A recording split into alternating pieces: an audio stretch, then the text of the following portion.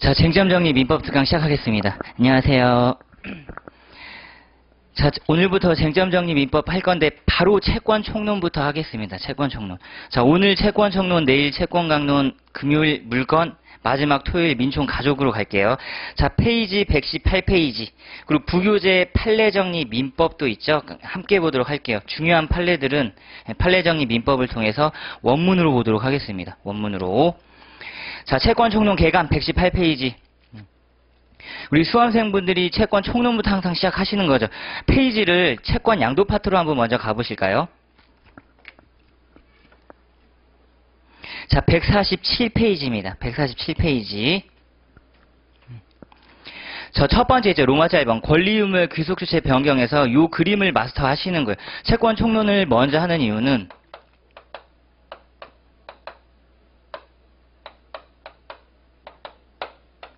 지금 우리가 이제 첫 번째 들어가는 게 채권의 목적이거든요. 채권의 목적. 자, 채권의 목적 중 요게 핵심 포인트로 공부를 하는 거죠. 금전 채권.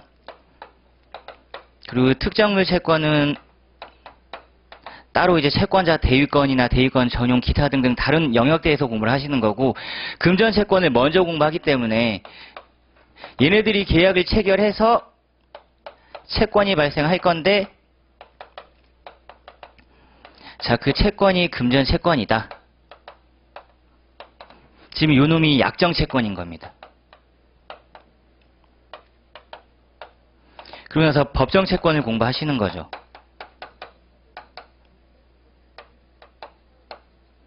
자, 그랬을 경우 갑이 을에게 가지고 있는 금전 채권, 그리고 병에게 가지고 있는 보증 채권, 그리고 갑이 B에게 채권을 넘기면 B가 가지고 있는 양수금 채권, 갑이 을에게 가지고 있는 채권을 갑의 채권자 A가 혹시라도 가압류했다 법률 규정, 그 다음에 채권자 대위권, 채권자 취소권, 그리고 나서 우리는 을의 항변권 등을 보게 되는 겁니다. 자, 지금 이제 다시 앞으로 돌아가셔서 첫 번째 채권 발생 목적을 보도록 할게요. 자, 120페이지에 있죠. 쟁점 27번. 간단하게 보시고 자, 첫 번째 특정물 채권이 있다. 계약 체결 당시부터 계약 체결 당시부터 실제로 인도할 때까지 채무자는 성관주의 의무를 부담하고 성관주의 의무 다했음을 채무자가 주장 증명하시면 실제 인도 시에 현상 그대로 인도하면 된다는 거죠. 관련 판례가 임대차에 있습니다. 임대차. 자, 그리고 종류 채권 특정의 방법, 이게 작년 변시 사례형 기출이었네요. 지찬 채무, 추심 채무, 송부 채무 각각 음, 간단하게 보시고 자, 그 특정의 효과가 급부 위험의 이전, 조달 의무 면제. 그 다음에 3번 채무 자체가 소멸되는 것은 아니다. 그럼 뭐냐? 채무 불이행의 면책입니다. 채무 불이행의 면책. 변제 제공에 따른 자, 로마차 3번 이제 금전 채권 나왔네요. 첫 번째. 1번 예금 계약의 당사자 확정으로서 올해도 시험에 나왔던 원칙 명의자 명의자 이거 A급이에요. 음, 예금 계약의 당사자 확정. 자, 원칙 명의자 예외 출연자로 보려면 명확한 의사의 합치가 있어야 한다. 단 증명력을 번복할 만한 구체적이고 객관적인 증거에 의하여 극히 예외적으로 인정해 보겠다. 요거 민법 총칙 법률행위 해석론 한번 가보도록 하겠습니다. 판례 정리. 페이지가 예, 18페이지에 있네요. 18페이지. 판례 정리 민법의 판례 27 예금 계약의 당사자 확정의 문제. 자, 기출 많이 됐죠? 13, 15, 16, 40, 15. 자, 예금 명의자 아닌 제3자를 예금 계약의 당사자로 볼 수 있는 예외적인 경우와 그 예금 명의자와 제3자 사이에 예금 반환 정권의 귀속 둘러싼 분쟁 발생 시 어떻게 해결할 거냐? 자, 동글뱅이 1번. 자, 볼드 처리된 거 위주로 볼게요. 두 번째 줄. 예금 명의자가 아닌 출연자 등을 예금 계약의 당사자로 볼 수 있으려면 출연자 등에게 예금 반환 청권을 귀속시키겠다는 명확한 의사의 합치가 있어야겠다. 음, 제일 핵심 문구죠. 명확한 의사의 합치.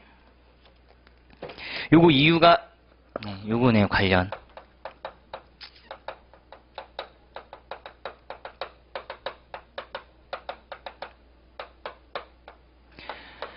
예금 계약서라는 처분 문서의 실질적 증명력이죠.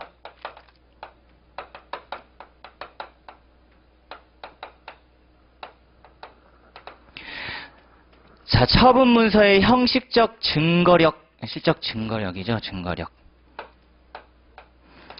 처분 문서의 형식적 증거력을 통과했으면 실질적 증거력이 발생하는데 요거는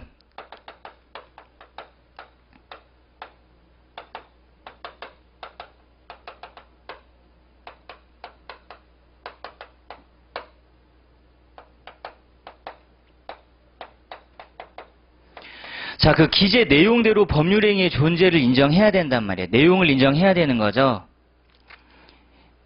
요 놈이 바로 처분문서의 실질적 증거력이에요. 그럼 예금계약서를 딱 봤더니 명의자로 예금계약 당사자가 확정됐어요. 그럼에도 불구하고 항상 용돈을 주시는 우리 엄마 누님으로 출연자로 보려면 명확한 의사합치가 있어야 되고 그리고 이 기재 내용을 깨버려야죠. 지금 문서가 있기 때문에 이 문서를 또 깰 만한 다른 구체적이고 객관적인 증거가 필요하다. 음, 증거 필요하다. 꼭 기억해 주시고요. 한참 논의가 되고 있는 문제들. 그 다음에 2번 외화 채권 대용권은 간단히 보시고, 자, 3번은 가장 중요한 내용입니다. 채권의 목적. 바로 지금 이제 본격적으로 공부 시작하는 금전 채권이에요. 돈 문제죠, 돈 문제. 음. 일단 민법 전반에 찾아보면 금전 채권 종류가 시작은 예, 대여금부터 해야 되, 되겠네요. 대여금. 이게 채권 강론에서 그렇게 중요하진 않은데 실제에서는 돈 빌리는 게 가장 많죠. 그럼 두 번째가 매매 계약에 따른 매매 대금 채권.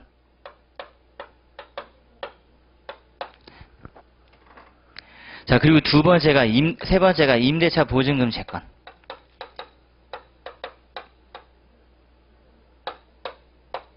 그다음에 네 번째가 공사대금 채권. 그리고 채권 속론 보증 양수 지금 이렇게 있는 거예요. 이렇게.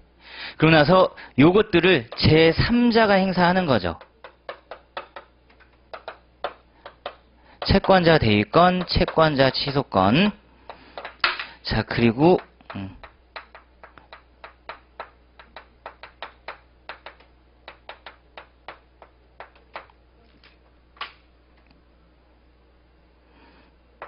압류 추심 전부 제3자가 행사하는 것들이네요.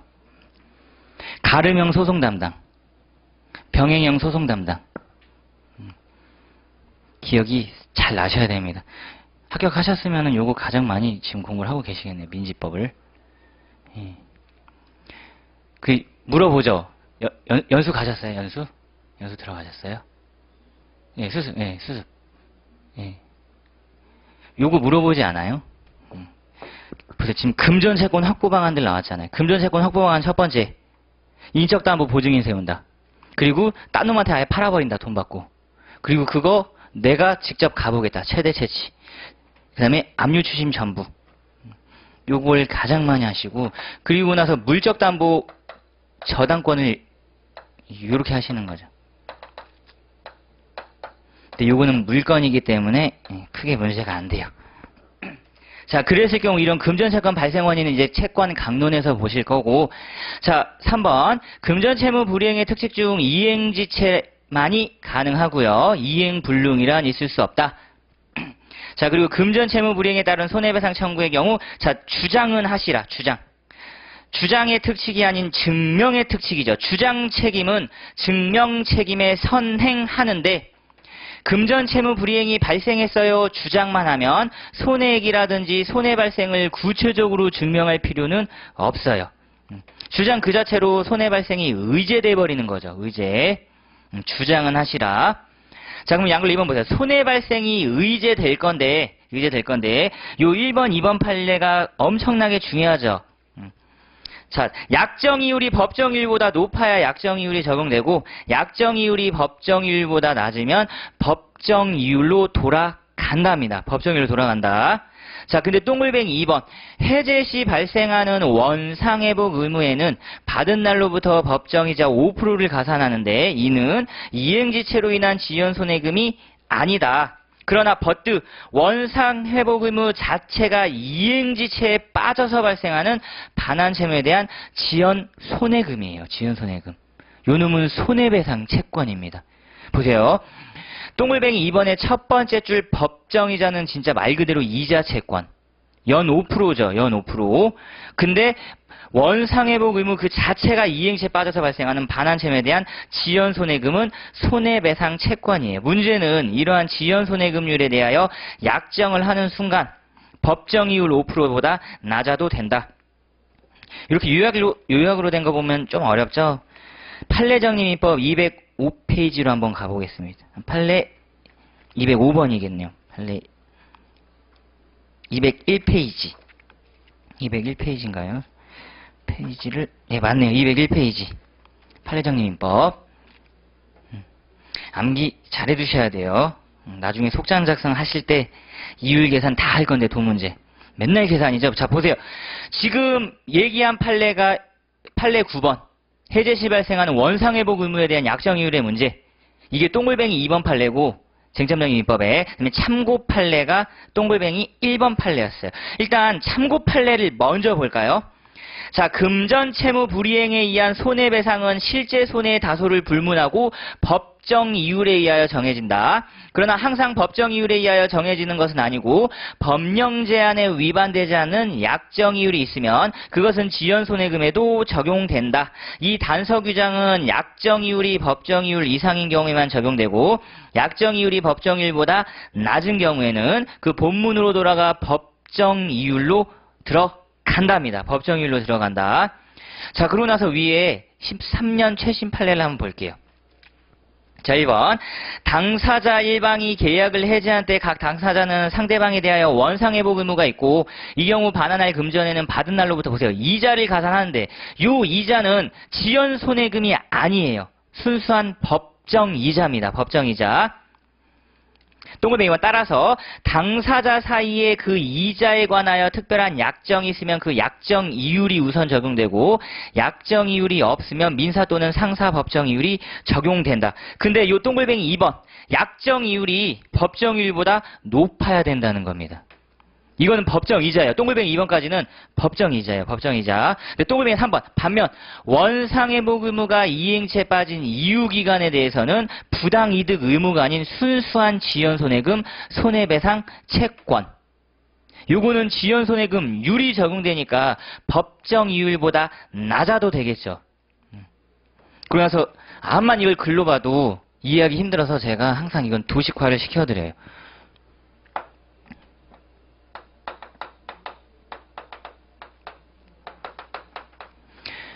자, 우리 해제 시 발생하는 원상회복 의무에는 법정이자 5%가 들어간단 말이에요, 연. 자, 그리고 이게 지체될 수가 있죠.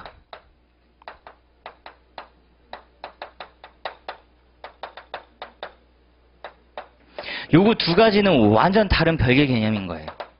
이건 순수한 법정이자, 이거는 지연 손해금, 이자가 아니에요, 요 놈은.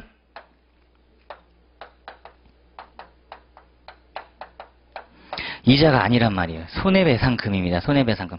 따라서 얘는 5%를 들어가도 되고 얘는 법정일보다 낮아도 되는데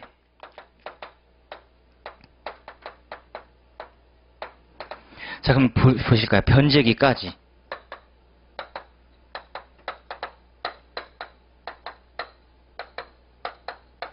이율이 연 3%죠. 지금 이거 약정이율 들어갔어요.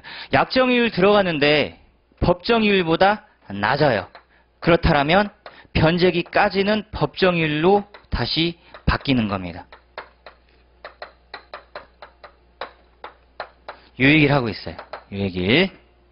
자, 문제는 보세요. 변제기 이후죠, 이후. 여기부터는 지연 손해금이에요. 지연 손해금. 이 지연 손해금은 요거 그대로 와도 되죠. 그대로 와도 돼요. 어, 법정 이율 연5% 갖고 변제기 이후에는 연 3% 낮아도 된다.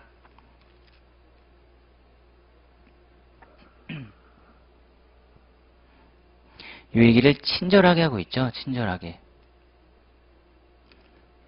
정확하게 분리만 해주시면 돼요. 예, 법정 이자냐, 음, 아니면 지연 손해금이냐. 지연손해금.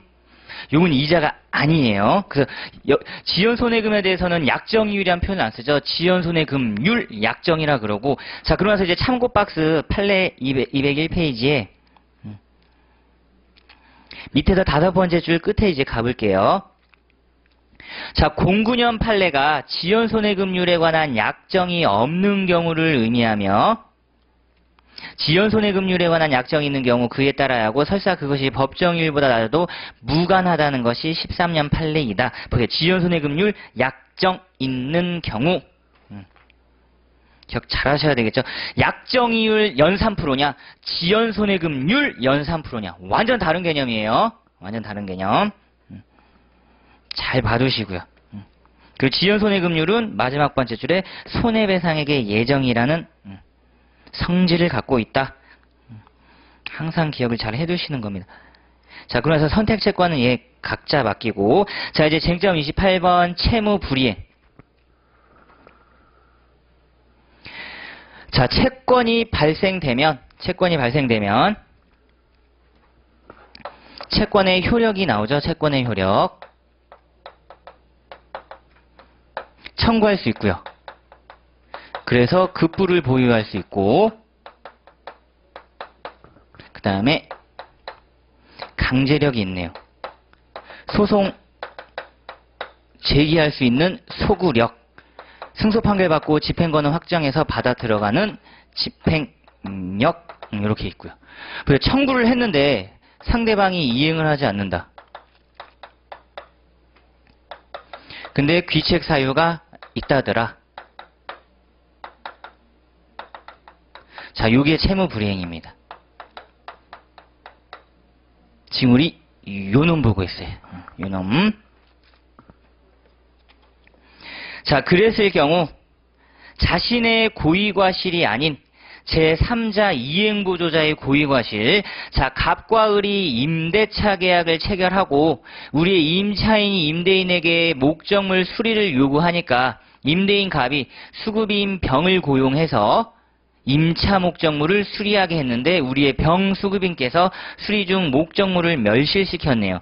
그랬을 경우 을의 권리구제 수단 소장 작성하실 때 청구 취지 싹 다 쓰시는 거. 첫 번째, 병에 대한 불법 행위에 따른 손해배상 청구권 750조입니다. 750조. 자, 근데 병보다는 직접 계약의 당사자인 갑한테 가고 싶은 거예요. 756조 사용자 책임, 노무도급. 올해도 변시 기출이었죠. 요놈. 그 다음에 양갈로 2번 보시면 757조 도급인의 중과실 불법 행위 책임.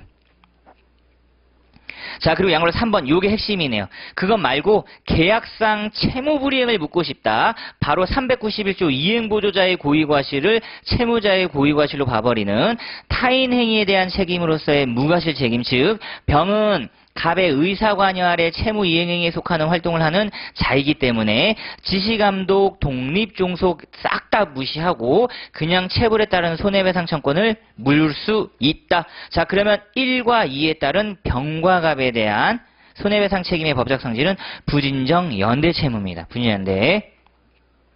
자 그리고 로마자 2번 채무불이행 유형 첫 번째 이행지체. 자, 양갈로 1번 채권이 압류된 경우, 지금 이 친구 나왔죠? 채권이 제3자에 의해서 압류가 됐다. 음, 압류가 됐다. 잘 보셔야 돼요, 요거는. 자, 지금 병이 채권자, 갑이 채무자, 을이 제3채무자. 병이 갑이 을에게 가지고 있는 A 채권을 압류한 경우 우리의 을께서는 갑한테 변제를 할 수 없고요. 그 다음에 갑은 을한테 받을 수가 없어요. 이게 압류의 효력. 변제 금지, 수령 금지. 자, 그러나 갑이 을에 대한 A 채권의 권리 행사하는 것까지 막을 수는 없다. 그러니까 갑이 제3자에게 A 채권을 넘기는 거죠.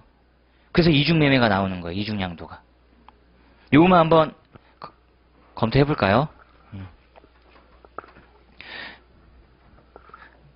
지금 갑이 을에게 가지고 있는 비채권을 A가 압류했단 말이에요.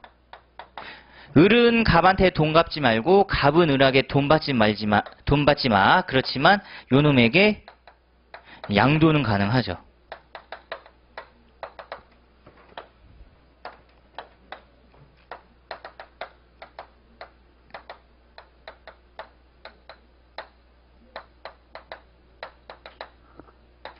시험에 가장 많이 나온 거죠.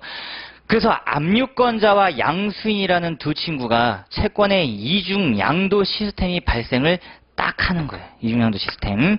이 친구에게 확정일자 있는 통지 내지 승낙서가 누, 누구에게 먼저 도달했느냐 그 도달 선회에 따라 들어가던 겁니다.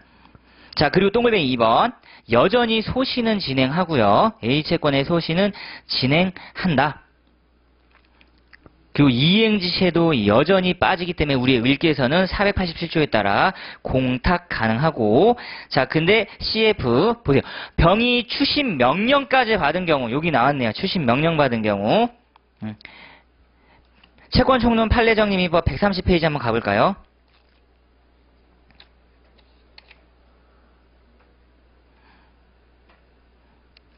작년에 A급으로 찍어드렸는데 이게 바로 나왔죠. 변시 16년. 판례 10번입니다. 추심금 청구에 따른 이행지체 기산점. 자, 개념 이제 정리만 할게요.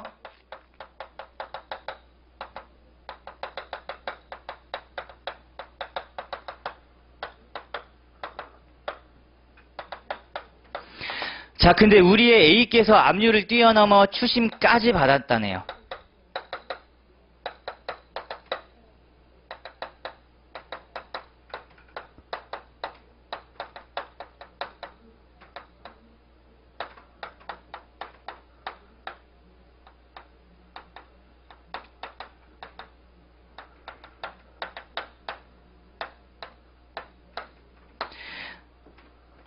자, A가 압류를 뛰어넘어 추심까지 받았다.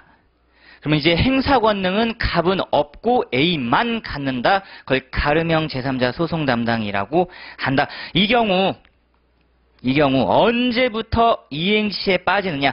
자, 추심 명령은 압류 채권자에게 채무자의 제3채무자에 대한 채권 추심 권능을 수여한다. 따라서 세 번째 줄 제3채무자가 압류채권자에게 압류된 채권액 상당에 관하여 지체 책임을 지는 시점은 추심 명령서가 송달받은 때가 아니라 추심 명령이 발령된 후 추심금 청구를 받은 다음 날 음, 핵심 포인트죠. 추심 명령서가 송달받은 다음 날이 아닌 결국은 추심금 청구 음, 최종적인 추심금 청구 중요한 판례였어요. 중요한 판례. 자, 그러면서 다시 쟁점 정리 민법으로 돌아오셔가지고 양로 3번. 자, 기한의 정함이 없는 채무로서 양로 3번.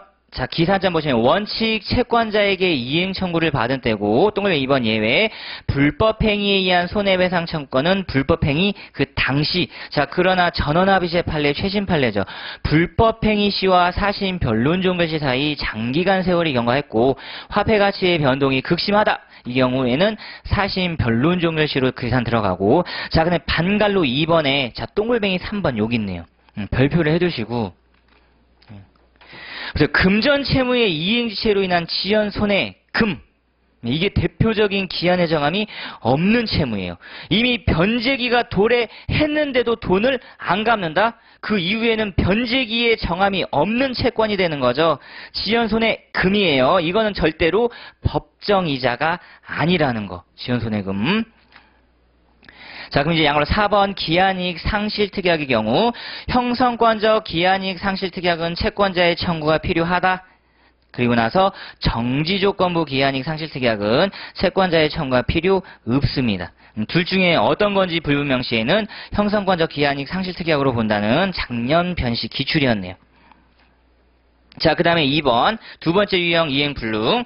자, 이행불능이란 채무자의 이행을 기대할 수 없는 경우죠. 이 표현 기억 잘 해두시고, 채무자 이행을 기대할 수 없는 경우. 동글 1번, 감유 가처분만으로 과연 이행불능이 나왔겠느냐? 안 되죠? 음, 그것만으로 안 되고, 무자력, 그리고 가등기만으로도 안 됩니다. 본등기를 해버리면 그때서야 이행불능 나오고 특히 동글뱅이 4번 부동산 이중매매의 경우 제2매수인과 계약 체결 시간인 제2매수인에게 등기 격려시였네요. 등기 격려시. 특히 가압류 가처분을 잘 받으셔야죠. 가압류 가처분. 등기부를 열람해 봤는데 제3자 명의로 가압류가 돼 있고 가처분이 되어 있다. 음, 이거 말소해 주기 전까지는 나는 목적물 대금을 지급하지 않을 거야. 동시행 항변권 행사하시는 거예요. 자, 그러면 이제 오른쪽 양걸로 2번. 자, 이행불능의 효과로서 반걸로 2번 전보배상 청구권이죠. 자, 상대방의 반대급부와 동시행 관계가 여전히 유지되고 특히 동글뱅이 2번 물권적 청구권이 이행 불능된 경우 인정되지 않는다. 요거는 우리 물건 가서 공부하실 거고 그 다음에 해제권 동시행 관계 있더라도 이행 제공 필요 없다. 자 그 다음에 올해 변호사 시험 사례형 기출 대상 청구권이었어요. 방금 3번. 자 요게 기출이 어디서 됐냐면 이중 매매에서 됐네요. 음. 그 틀만 한번 볼까요?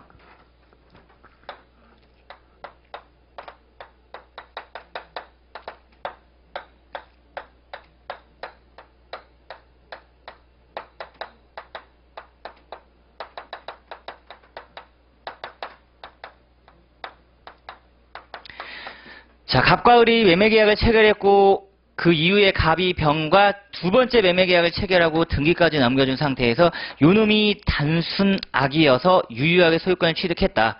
이 친구가 가지고 있는 이행 불능 소위 등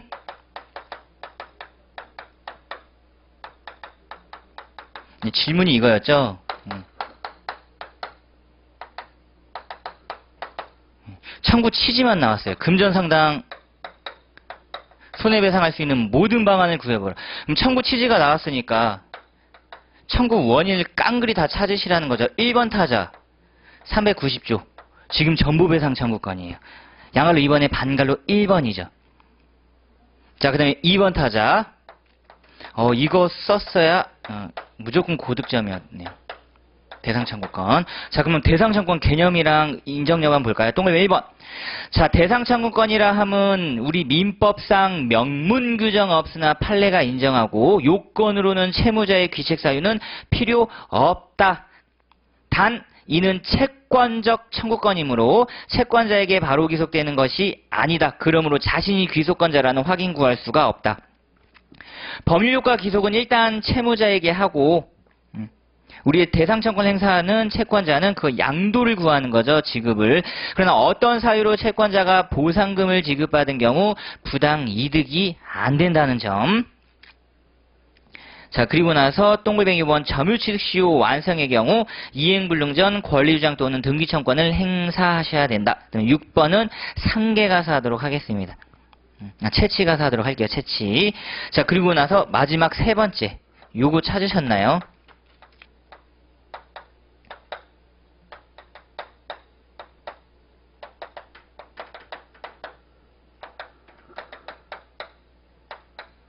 요거는 551조예요. 똑같은 손해배상 청구 같은 느낌인데 하나는 390, 하나는 551조. 그리고 요게 A급이었죠. 올해 점수가 20점 정도 배점돼 있었는데 여기에 제가 봤을 땐 10점 배점돼 있을 것 같아요. 그리고 요까지 쓰면 엄청난 고득점이었고 그래서 요거는 의, 인정 여부, 요건을 원터치로 쓰신 다음에 사안포설을 하셨으면 됐죠. 그 문제는 요거는 이제 판례를 꼭 썼어야 됐어요. 판례. 네, 요거였습니다, 요거. 원칙은 이행이익인데, 음, 예외적으로 실내익 상당. 그쵸, 실내이익 쌓이죠. 음, 실내이익. 아, 나 이거 계약이 유효하게 체결됐을 거라고 믿었는데, 그리고 나서 실내익은 이행익보다 작거나 같거나 넘을 수 없다 그랬으니까. 음. 바로 요 내용이 해제와 관련된 내용이었어요. 음. 그 중에 지금 우린 요거 이제 하나 본 거죠. 음, 자, 그다음에 3번 이행 거절. 작년 변시 사례형에 1년점으로 출제됐는데 구체적으로 물어보진 않았어요. 설문에 들어간 있었죠.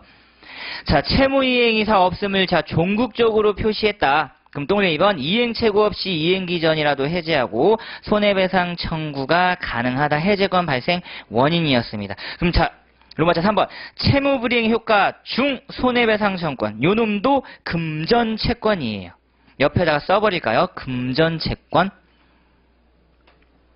요 놈도 금전 채권이에요.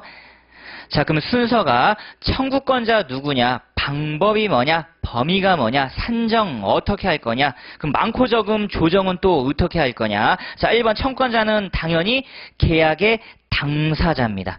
계약의 당사자. 동글뱅이 2번. 자, 여기 나왔네요. 예외적으로 채권의 양수인.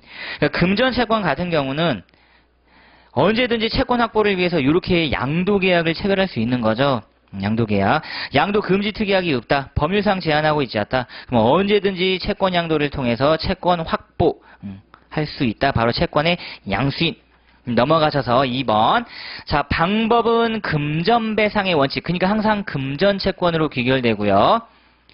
그다음에 범위는 원칙 통상 손해 특별 사정까지 주장 증명 완료하면 가- 청구할 수 있는 특 별 손해. 자, 문제는 동글베이번 채무자의 예견 가능성에 대하여 이행기를 기준으로 우리의 채권자께서 주장 증명을 하십니다. 채권자께서. 자, 특히 3번 손해 산정 기준 시기 다 암기 사항이네요. 이행 지체는 최고 상당 기간 경과한 당시의 시가, 2번 이행 불능은 이행 불능 당시 목적물의 시가 상당액. 그러니까 이중 매매에서 이행 불능 당시 시가가 가장 중요한 거죠. 여기 나온 거예요. 이행 불능 당시 시가가.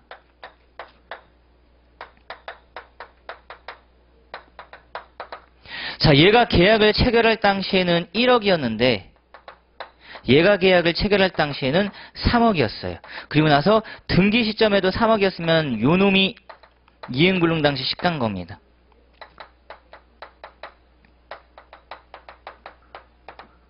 이거 보세요. 이행불능 당시 시가라고 했기 때문에 얘도 맞춰줄 수밖에 없죠. 과연 3억 원 전부에 대해서 행사 범위가 자연스럽게 나오는 거예요. 행사 범위가.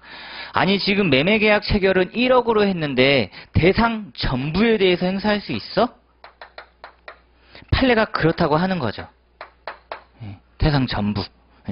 예, 무제한설이죠. 전액설. 대상 전부에 대해서 행사할 수 있다. 맞춰준 거예요. 지금 요거 두 가지를. 그래 이행불능 당시 목적물의 시가라고 한다면 대상 청권 역시 그 대상물에 발생, 그 물건에 발생한 대상 전부에 대해서 행사하는 게 맞지 않느냐. 무제한설인 겁니다. 제한하고 있지 않죠. 음, 판례가 그렇게 얘기를 하고 있었어요. 자, 그 다음에 이제 조정을 해보건데 4번 과시상계. 자, 요건 및 효과를 보시면 채무불이행 시 손해 발생 확대 손해에 대하여 채권자에게 과실이 있을 경우 손해 조정을 하는데 여기서 말하는 과실은 신식상 약한 의미의 부주의고 동글 2번 과실이 인정되면 반드시 참작하는 직권 고려사항 특히 사실의 인정과 비율은 법원의 재량이라는 겁니다. 법원 재량. 자, 그리고 적용 영역과 관련돼 가지고 본래급부의 이행인 표현대리나 보증채무 안 돼요. 빈출도가 높았던 거죠. 표현대리. 2번. 피해자의 부주의를 이용한다? 안 됩니다. 안 돼. 자, 근데 최신 판례가 나왔거든요. 판례 정리 민법으로 가셔가지고 요거는 책 계약 강론 파트에 있어요.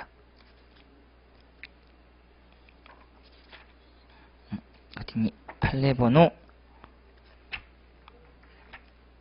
그쵸. 134페이지.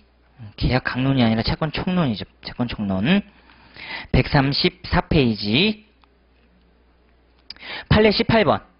해제에 따른 원상회복 의무에 대한 과실상계를 적용할 수 있겠느냐? 과실상계. 자, 동글뱅이 2번 한번 보세요. 과실상계는 어디에 적용되느냐? 채무불이행과 불법행위로 인한 손해배상 책임에 인정되는 것이지 매매계약이 해제되어 소급적으로 효력을 잃은 결과 매매 당사자가 당일 계약에 의한 급부가 없었던 것과 동일 재산 상태 회복시키는 원상회복 의무에는 전부 반환이죠. 전부 반환. 그러니까 과실상계 적용시키지 않겠답니다.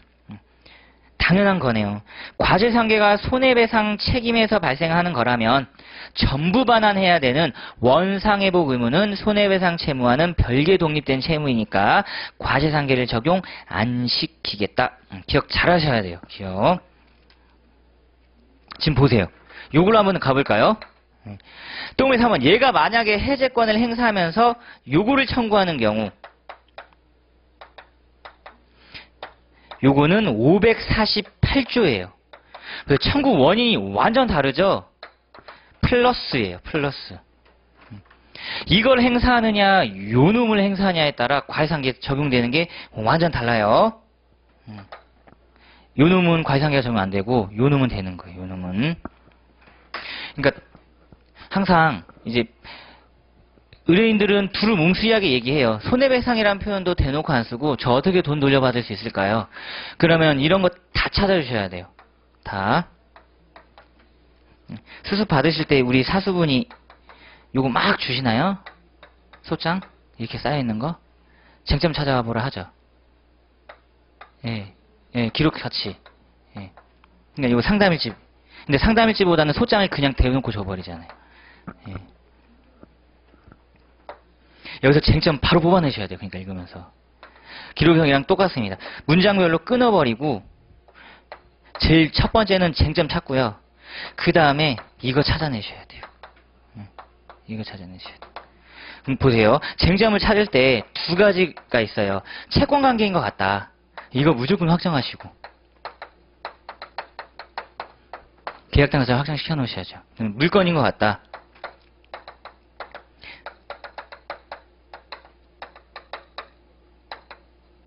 무조건 확정하셔야 되는 거죠. 두 가지. 특히 요놈. 음. 아마 소장 보면 등기부 열람돼서 복사된 것들도 많이 보셨을 거예요. 아, 복사된 것들. 자, 요 내용 기억 잘 해두시고. 자, 그다음에 오른쪽 양글로 3번. 자, 그 유명한 피해자 측의 과실의무 및 호위동승의 문제. 한참 문제가 되는 거네요. 자, 을이 갑의 차량에 호위동승했고, 상대방 차량인 병이 갑과 공동 불법 행위를 저질러서 우리의 을이 다쳤다. 과연 을은 갑과 병에게 손해배상을 청구할 건데 고려사항으로서 어떤 걸 따져볼 수 있느냐? 방금 1번. 일단 호위동승자에 대한 손해를 산정함에 있어 갑과 을 간의 호위동승에 의한 감액 비율을 먼저 참작하시랍니다. 그래야 병의 과실 비율을 따져볼 수가 있는 거죠. 문제 이제 방금 2번. 그러니까 을이 갑에게 손해배상을 청구했더니 우리의 갑은 호위동승 항변을 하는 거예요. 문제는 판례가 원칙 호위동승이라는 사유만으로는 배상의 감경 사유가 안 된다 그랬고요. 어떻게 해야 되느냐? 운행 지배와 운행 이익을 고려해서 참작 가능한 거죠. 운행 지배와 운행 이익을 공유했다. 그러면 참작이 가능하다. 그러니까 대부분 친인척들이에요. 신분상 생활관계들. 그런 표현을 방글로 3번에서 썼네요. 을이 병에게 손해배상을 청구하니까 피해자 측 과실이론을 지금 주장하고 있는 거죠. 갑과 을이 만약 신분상 생활상 관계에 해당한다면 갑의 과실을 을의 과실로 고려할 수 있겠답니다. 그러니까 반갈로 1번 호위동승 먼저 감액 비율을 참작해 봐라죠. 어, 을이 호위동승이 아닌 운행 지배와 운행이익이 고려됐네? 그럼 나도 가외 과실을 의뢰 과실로 고려해야지? 라고 병이 주장하는 겁니다. 순서가 눈에 보이시죠? 반갈로 1번 의뢰 호위동승 값과 상계 비율을 먼저 따져 보시고 그게 이제 통과되면 병은 피해자 측 과실 이론을 항변할 거예요. 자, 그러면서 양로 4번 손익상계는 단순히 선택형, 과실상계 먼저 들어가고 손익상계 한다. 자, 그리고 양갈로 5번은 잘 봐두셔야겠네요. 음. 일부 청구. 전액 청구하면 좋긴 한데, 음. 아, 일단 이거는 먼저 일부 청구로 간을 보, 봅시다. 그리고 명시 청구를 해 둡시다. 이미 결론은 끝났어요. 명시설. 그럼 시, 작이 이렇게 되는 거죠. 일부 청구의 인정 여부. 음, 돼요. 명시하시면 되는 거죠. 명시. 명시. 그러니까 명시하면 상관없는데 음, 명시를 안 했다. 대표적인 거 이런 거네요. 일부 청구하시고 나중에 청구 취지 확장하겠다. 어, 이건 전부 청구네, 전부 청구, 결국은. 음. 요거 두 가지가 동일성이 유지되는 한,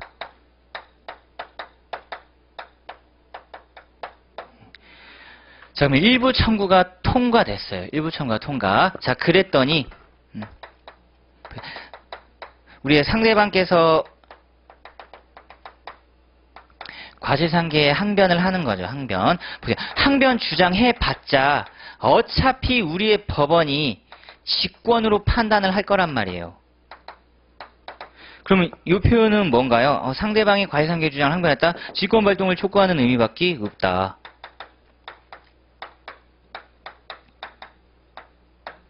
직권 발동 촉구하는 의미밖에 없다. 자, 그렇다면 음, 일부 청구와 과실상계를 함에 있어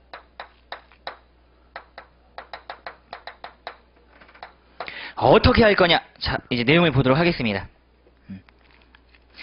자, 손해가 1억, 과실이 30%, 이미 결론 나왔죠. 과실 상계한 후에 잔액 7천만 원과 청구액을 비교하는 겁니다. 보세요. 일부 청구액이랑 과실 상계하고 나서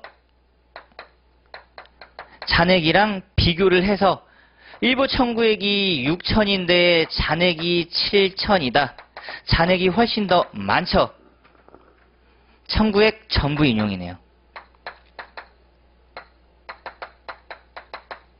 전부 인용.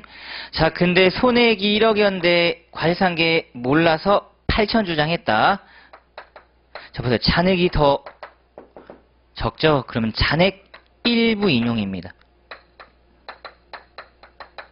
자, 특이하죠? 금액은 이게 더 많아요. 근데 일부 인용입니다. 금액은. 여기는 전부 인용이고요. 자, 특히 이렇게 일부 인용과 관련돼서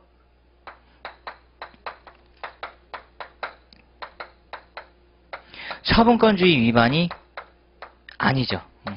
이거 결국 요 내용이었어요. 처분권주의 위반이 아니다.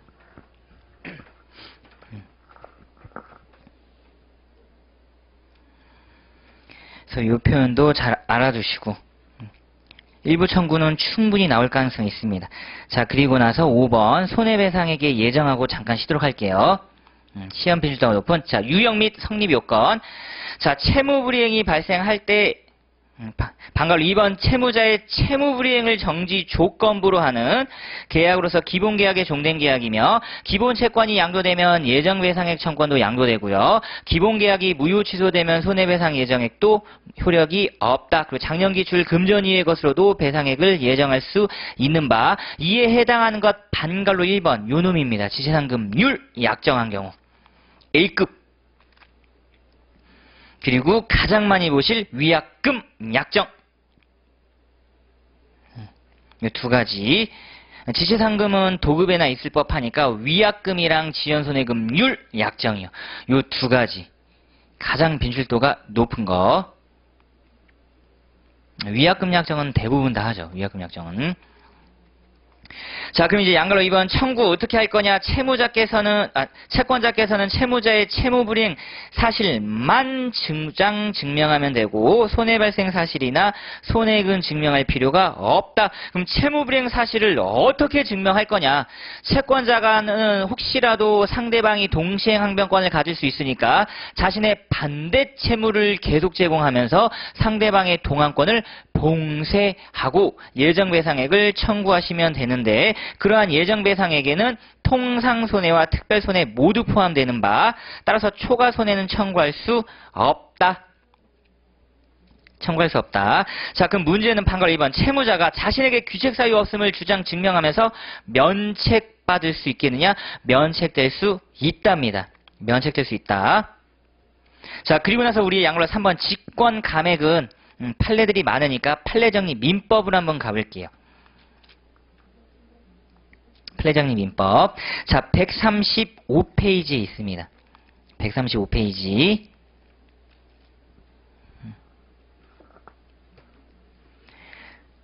135페이지. 자, 지금 청구 취지가 손해배상에서 계속 나오고 있죠.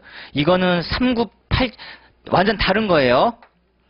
이건, 이게 채불이고, 요거는 손배예입니다. 완전 다르죠? 음, 별개 소송물이에요. 별개 소송물. 계속 확인하시고. 자 동글비 1번 판례 20번. 자 계약 당시 손해배상액을 예정한 경우에는 다른 특약이 없는 한 채무불이행으로 인하여 입은 통상손해 특별손해까지도 예정액에 포함되는 바 초과 부분은 따로 청구할 수 없다. 자 문제는 동글뱅이 2번. 손해배상 예정액이 부당하게 과다한 경우 법원은 당사자의 주장이 없더라도 직권으로 이를 감액할 수 있으며 자 여기서 부당이 과다한 경우라고 함은 여러 가지 요인이 있지만 지위 목적과 그 내용, 손해배상액을 예정한 동기, 그 다음에 채무에 대한 예정액의 비율, 그 다음에 예상 손해액의 크기 등 여러 가지 사정들을 고려해서 채무자에게 부당한 압박을 가할 것 같다. 자, 이게 부당가다의 개념입니다. 의의 및 판단 기준이 나왔죠. 지위, 목적, 내용, 동기, 비율, 크기 등을 고려하되 채무자에게 부당 압박이란 표현, 그래서 공정성을 잃은 표현. 백사조 불공정 법률 행위와 관련된 대표적인 개별적 구체적 규정이에요. 음, 기억 잘 해두시고. 음. 자, 그러면서 넘어가시면 이 경우 구체적인 손해액은 실제적으로 심리 확장할 필요가 없다는 거죠. 핵심 문구네요. 실제 손해액을 구체적으로 심리 확정할 필요는 없고요. 그러고 나서 14년도에 판례가 판례 21번 한 번 더 업그레이드 시켰죠. 부당과다를 판단할 때 인자를 다섯 번째 줄 단지 예정액 자체가 크다라든지 계약 체결 시부터 해제 시까지의 시간적 간격이 너무나도 짧다. 한 10일 만에 해제를 해버린 거예요. 그것만으로는 음, 부당이 과다하다고 볼 수 없답니다. 부족이었어요. 부족. 자, 그리고 나서 이제 판단 인자를 쟁점적인 입법 128페이지 돌아와서 가볼게요. 자, 양으로 3번 직권감액 할 때, 함에 있어 동글뱅이 1번 바로 요게 판례였고요. 실제 손해액을 구체적으로 심리 확정할 필요 없다. 많고 적음은 동글뱅이면 당연히 주채무자를 기준으로 들어가시는 겁니다. 소송 들어갔기 때문에 그 부당가다의 판단 시기죠. 사실심 변론 종결시였어요. 음, 사실 변론 종결시 항상 기억해 두시는 거 음, 소장을 읽고 나서 언제 변론이 종결된 것 같다. 음, 진행 사항들을 잘 보셔야죠. 음, 기록형 상담일지 같은 데서. 자, 그리고 잠깐 쉬었다가 쟁점 29번 책임재산 보전을 예, 보도록 할게요.